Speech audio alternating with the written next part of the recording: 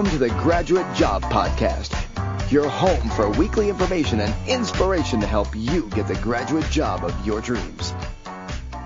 Hello and welcome to the Graduate Job Podcast with your host, James Curran. The Graduate Job Podcast is your home for all things related to helping you on your journey to finding that amazing job. Each episode I bring together the best minds in the industry, speaking to leading authors, graduate recruiters and career coaches who bring decades of experience into a bite-sized weekly 30-minute-ish show. Put simply, this is a show I wish I had when I graduated. Hello and welcome to episode 109 of the Graduate Job Podcast, the UK's number one careers podcast. And I have a great episode for you today. A company who you probably haven't thought of applying to, but who have 27 billion to spend over the next five years. Yes, you heard that correctly, 27 billion with a B, and who have seven different graduate schemes on offer. Yes, today I'm joined on the show by Highways England. In the show, we explore their seven different graduate schemes in turn and look at what you need to do to impress at each stage of the process. We cover why personal development is so important on the scheme and the professional qualifications you will gain with Highways England. We discuss the streamlined application process and why you won't need a CV and cover letter, but you will need to focus on Highways England's values. We delve into the top tips and hints for passing each stage of the application process and finish with what you can expect in the assessment centre and how to stand out from the crowd. Now, no matter if you have never heard of Highways England before, or if you've never thought of applying, this is an episode you won't want to miss. As with their seven different graduate schemes, they have something for everybody. As always, you can find a full transcript with all of the links which you can download over in the show notes at graduatejobpodcast.com slash highways England. Before we start today, let me tell you about my brilliant step-by-step online course, How to Get a Graduate Job, which is live and which you can join right this very moment.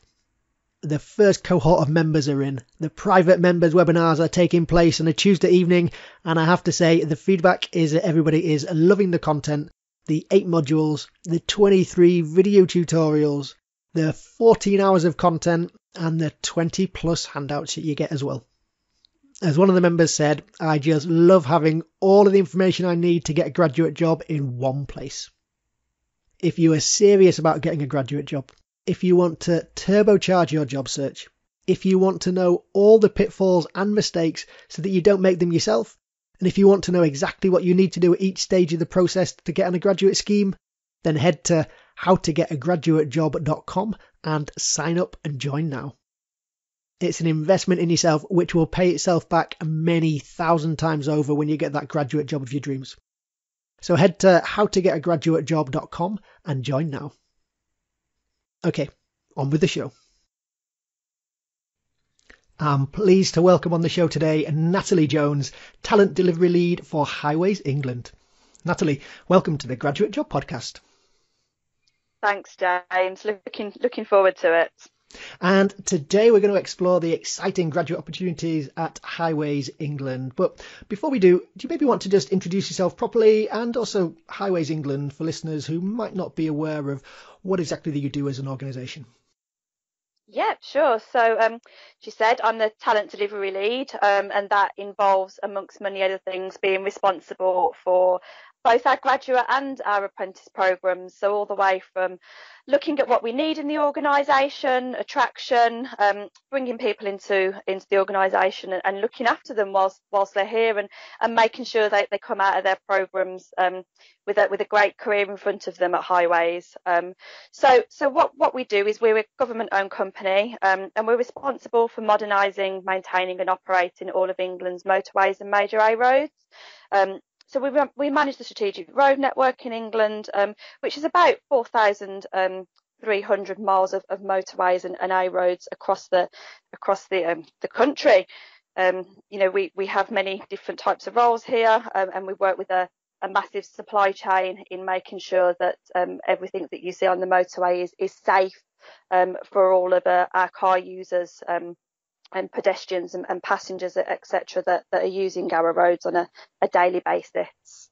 Excellent. And uh, organisation where big plans for the future in terms of um, you know lots of major redevelopment and you know new development coming on the motorway network. So there's going to be lots of opportunities for for new graduates to get their teeth into some big projects coming down the line.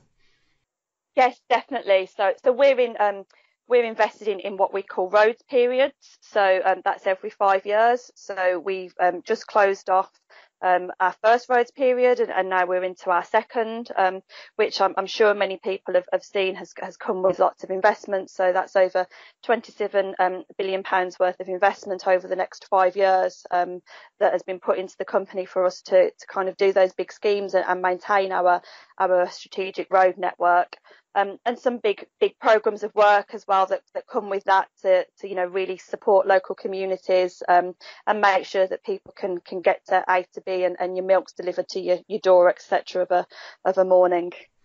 Wow, 27 billion is a big uh, chunk of change there, and there's not many not many companies uh, in the UK where you're going to be working on 27 billion pounds worth of projects over the next five years. So yeah, some um, some really exciting graduate schemes that you've uh, you've got available at the moment, and uh, we will go into those and maybe dispel some of the myths that you're not going to be wearing a high vis jacket driving along uh, the hard shoulder of the motorway uh, if you were to start working for Highways England. Is that is that right?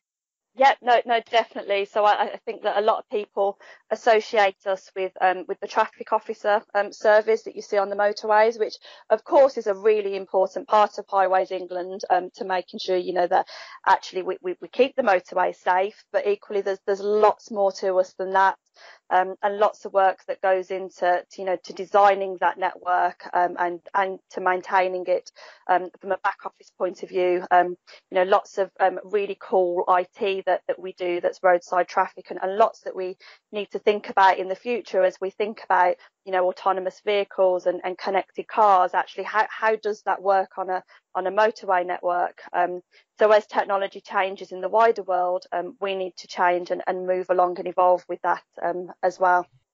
Excellent. And let's maybe then jump into some of the graduate schemes that you've got currently open. So you've got seven different uh, schemes open at the moment. Do you maybe want to just take us quickly through uh, what these are and what they involve?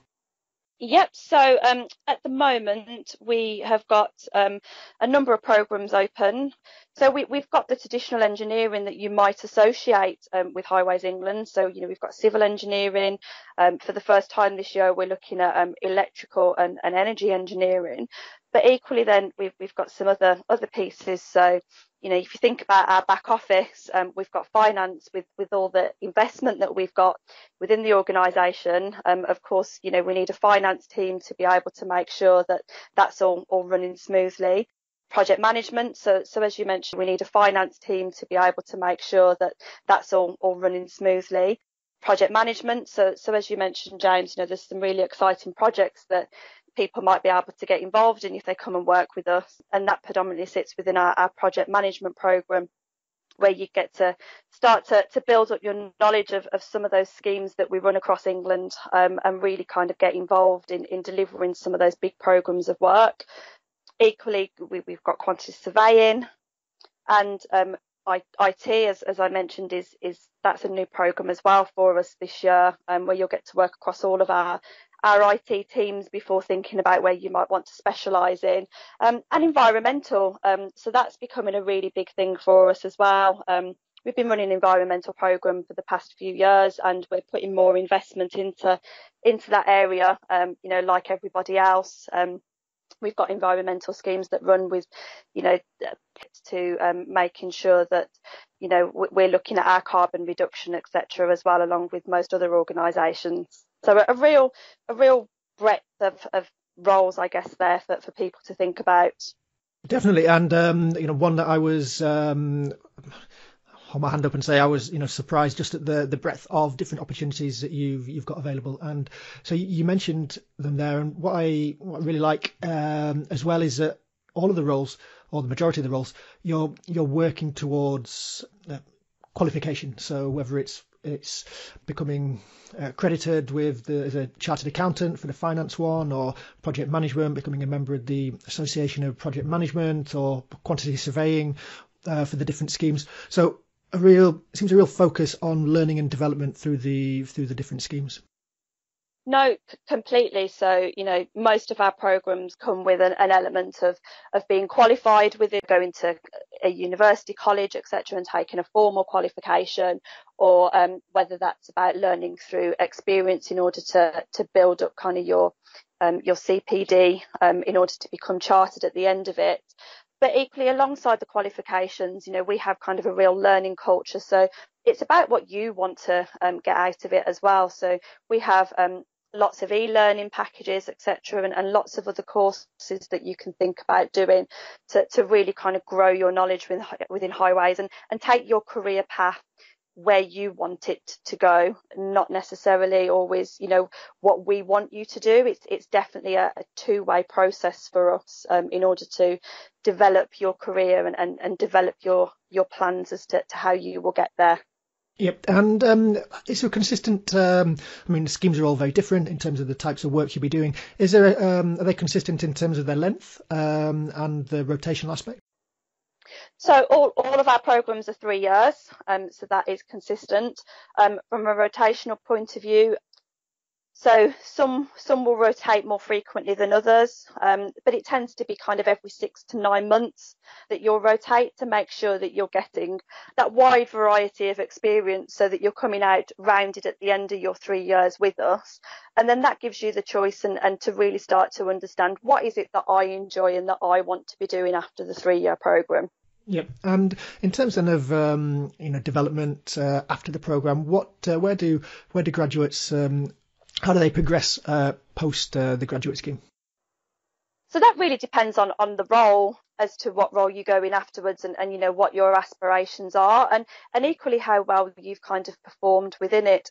So you know we've we've got graduates that um, from a project management perspective they they go on to be assistant project managers or graduates that um, from a project management perspective they they go on to be assistant project managers or or straight on to to kind of the next level and, and being project managers. As i said with it you know you'll rotate around all of the different um, areas. So you, you could be moving on to work in the business partnering area, or, or you could be specialising and, and, working within cyber security, for example. Our quantity surveyors, again, you know, go on to, to be fully fledged assistant quantity surveyors, commercial managers um, with us, and and our finance, you know, it, it's all very much similar. They they kind of take that next step into really then starting to own something um, within highways and, and England and, and, put their their knowledge and their experience from the past three years into to real practice. Yeah, and we we talked earlier about the, the 27 billion pound investment. So as a a finance graduate, there's some huge projects and huge amounts and huge amount of money for you to be getting maybe with some of the more traditional firms that people might think about for going into finance. Um, yeah, the, there's huge opportunities for for your learning and uh, just getting your teeth into some really meaty projects as we as we talked about. So definitely, if you're a finance graduate, then make sure you check out the links in the show notes to all the graduate schemes that we've talked about today, which you can find at graduatejobpodcast.com/slash highways England. In terms of location, where are people going to be based on the graduate scheme? Does it depend on the scheme, or does everybody tend to be in one location? No, it, it does depend on the scheme. Um, so all of our roles have got different requirements. So, um, for instance, our our finance and IT is based in Birmingham. Um, so that's where our kind of, I guess, um, head office is, and where most people are, are based from a, an office perspective. Um, from a, a, head office perspective are, are, in Birmingham, so that's where they are. Um, but then our, our that's where they are. Um, but then our our other programs are based in our offices um, across England, and there's there's some flexibility as to to which office they're they're based within. And as you mentioned, there's uh, what was it, 4,000 miles of motorway network. So there's lots of motorway and A roads around the country. So I guess lots of locations as well for people to be uh, to be working in. Yeah, so we we've got um, offices that are based, as I say, across England. So we've got Leeds, Manchester, Birmingham, Bedford, Bristol, Guildford, Exeter I think I've remembered them all. I might be biased, but uh, yeah, I think Leeds probably be the best one to go for for any uh, listeners out there. Um, oh, about that, James, being a brummie. so in terms of let's talk uh, cold hard cash. Uh, what sort of salary could uh, could listeners expect on the on the scheme? Um, so all of our um, schemes start off at 25,000 and then um, for that to rise annually throughout the scheme um, as well. Ah, excellent. So there's also, I guess, a, a host of other benefits that, that come along with that. Um, so, you know, many of your standard ones, you know, we, we've got quite good annual leave and, and pension, etc. Um, and I know that for a lot of people thinking about about pension is um, is seems like it's a long way away, but um, it soon starts to, to hit you. So some of those benefits, you know, are are also great, along with all those learning and development opportunities that we've got. Definitely, you need to get your pension sorted as young and uh, quickly as you can. It certainly, once uh, compound interest starts getting involved, it uh, yeah pays to get it sorted nice and quickly. So uh, yeah, definitely good advice there. So maybe let's move then to thinking about the application process, having whetted uh, the listeners with uh, with the different talk of the different opportunities there. So I know there's a broad range of listeners with uh, with the different talk of the different opportunities there. So I know there's a broad range of different schemes, but is there a common theme of what you look for from graduates? Yes, so you know we we appreciate that actually graduates are likely to have very limited work experience, especially depending on whether they've done a, a placement year or not during university.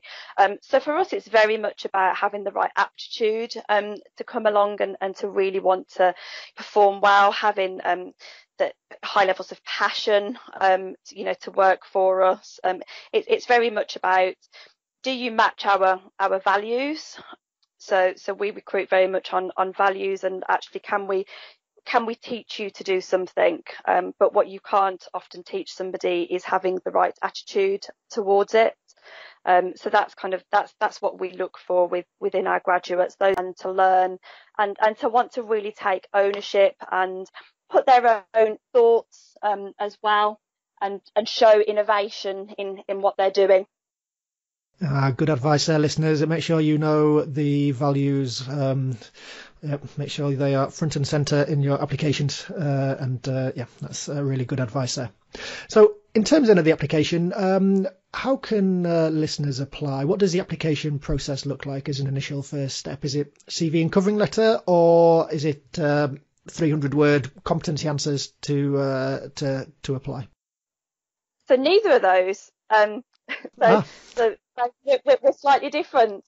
So the, the, the, first step is obviously um, all, all of our vacancies are, are, on our career site. And then if you, if you go through to apply, we've opted um, to no longer ask for um, CVs and cover letters because as I said, we appreciate that actually there's, there's, limited work to be able to put onto a CV and to distinguish themselves from the others through that route. So there's a short application form followed by um, a situational judgment test. So that's about scenarios that are real life to what you might come across in Highways England. And what that does is it asks you to um, mark what would be your most and your least likely response to that answer. So a bit like a, a multiple choice. And then that gets scored. If you pass the benchmark um, for that piece, then you go on to have a video interview, which again is, is scored. Um, and then if you pass the video interview piece, that's when you'd be invited along to an assessment centre. Um, and of course, within that, that there are some, depending on, on the scheme, qualification require, requirements as a prerequisite. But apart and a, a short paragraph just to explain, I guess, why why do you want to work for Highways England and why do you want to be on that scheme? But no, it's it's all through a, a series of, of very standardized kind of, of testing, as I say, to, to really show through whether somebody has the right attitude and the right values to uh, to take on um, working to be working for Highways England and on one of those schemes. Excellent. So let's maybe break that down uh, in turn. So before we do though, are there any uh, grade requirements that you look for? Is it two one or two two? It depends on the scheme. Um, so some schemes are a 2-1, some schemes are a 2-2. Okay, That's uh, that's cool. So listeners, make sure you uh, check out the uh, check out the website for the details for those individual schemes. And just going back then to the so the SJT. So I like the the leaned uh, application process. The just makes it so much easier um, when there's not 10 competency questions of differing lengths. Um, just makes it so much easier to apply.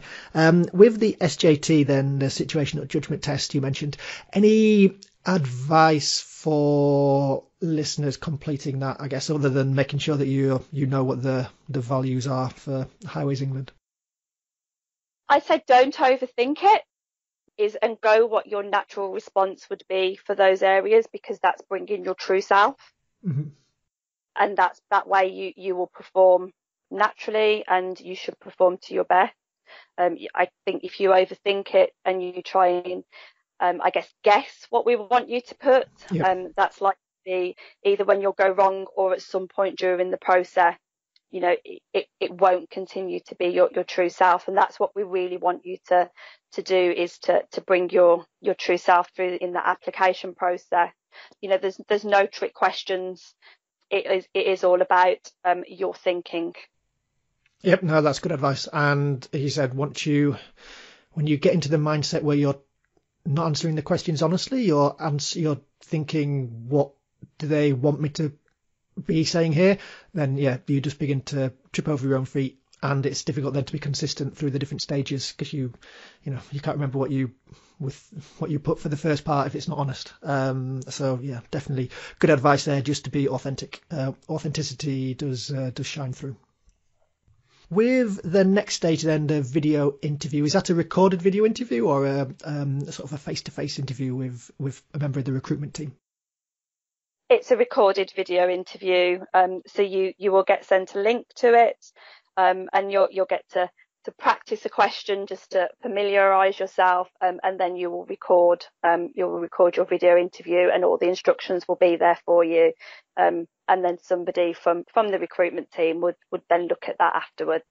Yeah and um, you talked earlier about sort of values and you know a big focus on values are, are there questions um, sort of strength based scenario questions or you know the more traditional competency questions that uh, that lots of companies use? Are you able to divulge what type of questions people might face? So, so it is. It isn't a long video interview. It, it, it should only take kind of 15, 20 minutes to to take that interview. And again, it, it's kind of assessing your motivations and your communication at the same time as, as for wanting to particularly be on that scheme, particularly want to work for Highways England. Um, and then there are just a, a, couple of questions again that are based around um, our our values for you to for you to answer. Ah, so uh, good uh, good pointers. Uh, um, so let's move on then to the assessment centre stage, which uh, can be a stage which can strike fear into the hearts of uh, of many applicants. Um, what does an assessment centre look like at the moment? Are you, I guess, are they being run um, sort of remotely on online, or are you hoping to do face to face ones? So um, I've made the decision that our graduate assessment centres um, for this year's recruitment will be virtual. Mm-hmm. Um, given the current situation, I don't think that we can um, guarantee that we'd be able to do face to face or that it would be safe. And primarily, we want everybody to be comfortable and to be safe in the situation. So I am moving them all virtual. So they may be a little bit different to um, to the face to face assessments that we've been running previously. But primarily, again, it'll be about a number of a number of assessments taken during um, kind of a half half day, just over half day period um, that will be virtual, that will include things like an interview, a presentation, um, and and some kind of analysis exercise. Um, we are currently just reviewing what that looks like to make sure that actually the experience of the applicants of our, of our potential graduates that are going through that assessment process because because it's virtual um, is still as smooth and as positive as possible. Yep. And you know, it, it, can be more difficult to to say build rapport when you're when you're doing it online, but you know, everybody's in the same boat. Any any advice for for candidates to how they can how they can perform with the the, the virtual aspect of the interview? what tips would you would you give them to to help them to stand out? I think first of all is to test the technology that you're going to be using for any virtual assessment before you have to attend that assessment and that's one to make sure that it works and that you know how it's how it's going to work but equally I think that will help you be calmer when you first attend that assessment because yep. there's going to be no panicking if something, you know, you you'll know all the glitches hopefully already that might already be in that technology. Um, so to help you kind of be calm um, in a situation that you, you you're not necessarily used to. We'd asked for videos to be on, so you know we might not be able to see the whole of a person, but it's still about having that rapport with with facial expressions. I've interviewed people in in the virtual world over um, over the last six, seven months or so, and still managed to build a level of rapport through through having the video on. Yep. Even if you've got poor network, just just you know having that on for a while so that you can see somebody's face and they can see you and what you look like. Remember that you know to still dress professionally, just because you're potentially sitting in your bedroom at home doing that assessment um, is just to think about actually what does your background look like um, what do i look like the, the bit that people can see um, yep. even if that means got your pajama bottoms on the bottom, you know, put a smart top on. Yep. And like with a face-to-face assessment, it, it's just really again about bringing yourself to it, thinking about what you can bring to that scheme. What experience have you got through through university uh, or any part-time work that you've done, um, and what can you what can you bring, and make sure that you know you're you're truly participating and, and bringing yourself through in those assessments. That's quality advice there. And just thinking then about the assessment centres generally, what are some of the, the ways that candidates tend to let themselves down at this stage? So I, I think there can be two extremes. So coming to an assessment, particularly um, where there's group exercises and, and being quite quiet. So, you know, an assessor can only assess what they're hearing and seeing from you. So, so remember to speak, but equally on the other end of the scale is not be too overbearing, is make sure that actually you're showing that um, you can think on your feet, you can think with your own initiative and work individually, but equally work as a team at the same time. So make sure that you're speaking, I guess, and listening um, in equal parts if you're in that team environment and make it's your opportunity as well um, to ask questions. So yep. assessments of this process isn't just about you proving to to Highways England or, or any other organisation that you might be going through this process with. It's also about that organisation proving to you that um, they're the right fit for you it has to be a two-way match. So this is your opportunity if you get to an assessment centre is to ask questions and have your questions answered um, and make sure that you know that, that equally we're a right fit for you as much as um, the other way around. Definitely, and it is, as you said, it's a it's a two way thing. So you need to make sure that you're going to be you're going to be on the graduate scheme for three years. You want to make sure it's going to be a happy three years, and that Highways England is the right place for you. So some uh, some excellent advice there.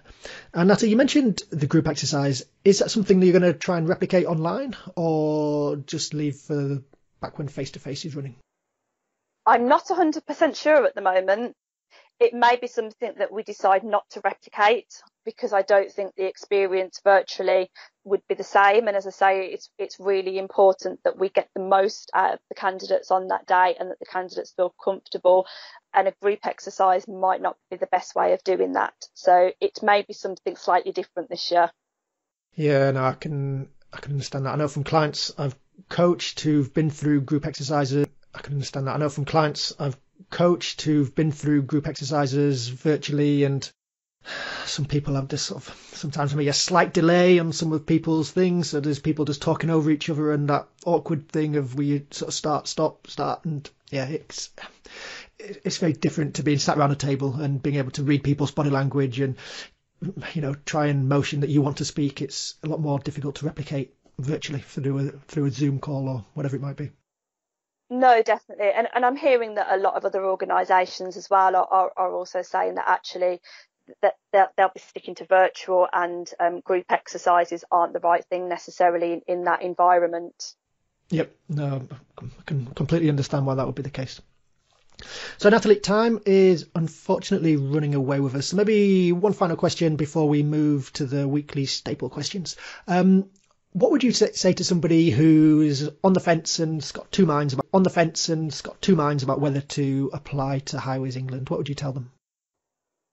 I'd say um, have a look, have a look at our programs, have a look at our career site, our website, do some reading about us, follow us on social media to get a feeling about our organisation, to understand our, not only understand our schemes and what we've got to offer from that perspective, but to understand our culture and to see whether you think that you'd be the right cultural fit, um, as well as whether you and whether we'd be the right fit for you, as well as whether you think you'd enjoy the, the physical work on the programs. And just following on from that in terms of the culture, how would you describe the? It's a difficult question, but how would you describe the culture at Highways England? I think that we're a quite an open organisation in terms of, as I said earlier, you know, we want you to bring your yourself to work. We want you to put your ideas forward. You know, it doesn't matter what level you are in, the, and we'll, we'll add value and will be listened to in that sense. Equally, we um, culturally we, we believe in having a diverse um, organisation.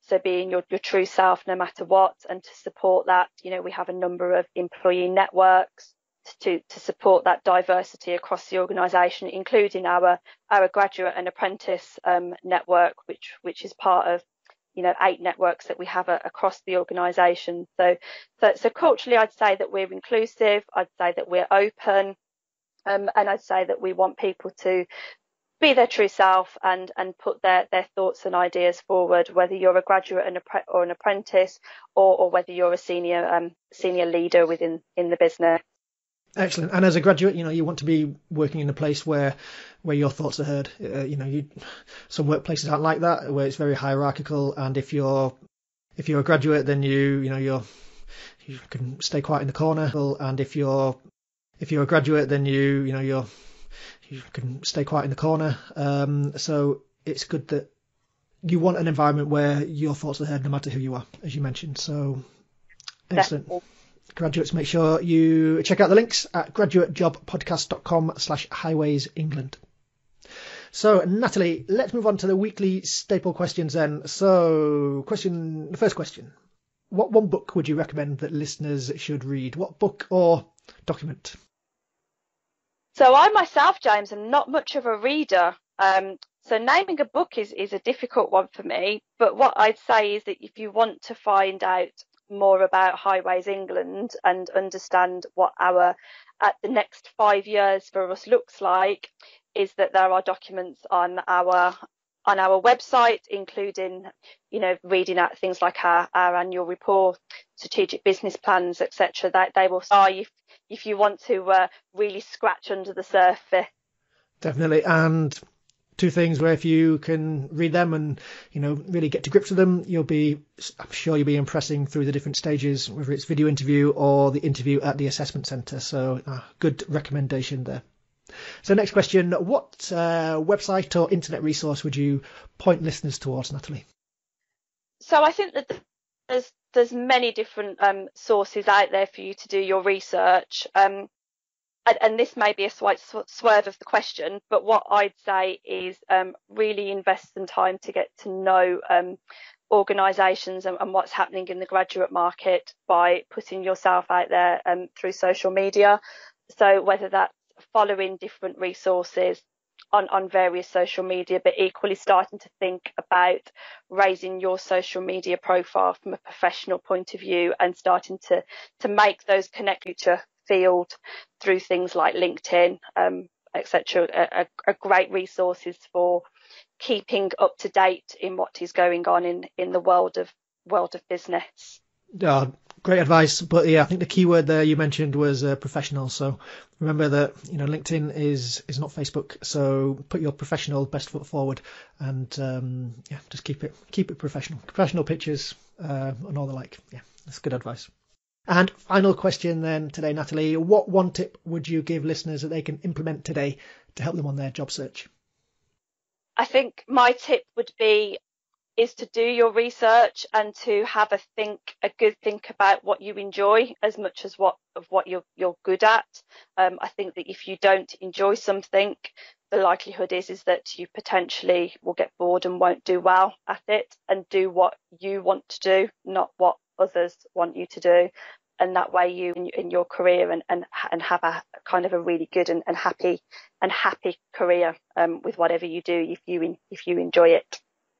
That is great advice and a lovely place for us to end the interview on. Natalie, thank you so much for joining me on the Graduate Job podcast. What's the best way that people can get in touch with Highways England and the work that you do? Um, so um, I'd visit our careers um, site, which is careers.highwaysengland.co.uk. Plenty of information on there about us as an organisation and working with us, links off to there onto our main website, um, and also email addresses um, and contact forms if you do have any questions. Or follow us on social media. We're on um, Twitter, Facebook, Instagram. Really start to see what we're about. Super. And I will links to all of those in the show notes where there'll also be a full transcript of the episode today, uh, which you can find at graduatejobpodcast.com slash highways England. Natalie.com slash highways England. Natalie, thank you so much for your time today. Thanks for having me, James. There you go. Many thanks again to Natalie from Highways England. And admit it, you didn't know that they had those great different graduate schemes, did you? And what's not to like about them? Huge projects over the coming years, professional qualifications, and a great pension to boot, and a streamlined application process. Everybody's happy. Listen back to the episode and get yourself a PDF transcript in the show notes at graduatejobpodcast.com slash. Now, if you are serious about getting a graduate job with Highways England or anyone else, like as in properly serious, as in you really want the best help you can get and you really want to invest in yourself as you look for a graduate scheme, then you need my course, How to Get a Graduate Job. It's got eight modules, 23 videos, 14 hours of content to take you through everything. Three videos, 14 hours of content to take you through everything, and I mean everything that you need to know to get a graduate job. But the course doesn't end there. There is also the private Facebook group where the group members are sharing their progress and also importantly, the questions that they are facing at different stages with different companies that they're applying to. I've also been running weekly webinars for members where we go through different topics every week. And next week coming up, we are doing a mock group exercise so that everyone can get real practice ahead of the main thing. Now, it's a great group. Everybody is working together and helping each other to improve. As you can see, there are so many things with the course. There's the course itself, there's the private members group, and also there's the special offers I'm giving at the moment where you get one on one coaching with me check them out on the website over at howtogetagraduatejob.com and sign up and join. You'll be glad that you did. Is England. Either way, drop me a note and say hello, or book yourself in for a completely free 30 minute coaching session with yours truly, where we can go over your applications, do a mock interview, look at your CV, whatever you want to go over, we can cover it. Find the details for this in the show notes where you can sign up. Join me next week when I have Think Ahead back on the show discussing their award winning graduate scheme. It's a goodie. I hope you enjoyed the show today, but more importantly, I hope you use it and apply it. Yeah.